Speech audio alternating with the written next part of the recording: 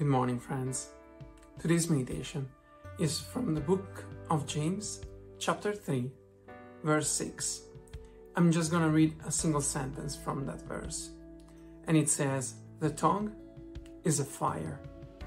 So the word for today is fire. Now, I've been thinking, what does it mean for the tongue to be a fire? And then I investigated into what truly a fire is. Fire is the product of a chemical reaction. You know, if you investigate, you will discover that, you know, combustion is a form of oxidation. That means that a substance gains oxygen. So, coming back to the Bible, the tongue is a fire. What does it mean? It means that you know the our words they become a fuel and our feelings are the oxygen.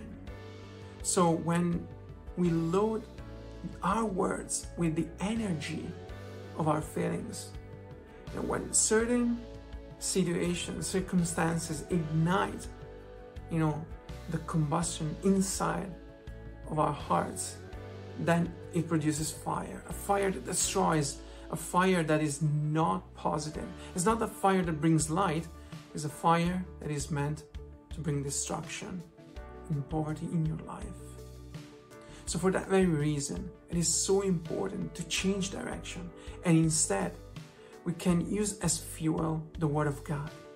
We can use as oxygen, oxygen the Holy Spirit and also, we can use our faith as that ignition element for starting a new form of oxidation, a new exchange of energy, of powerful divine energy.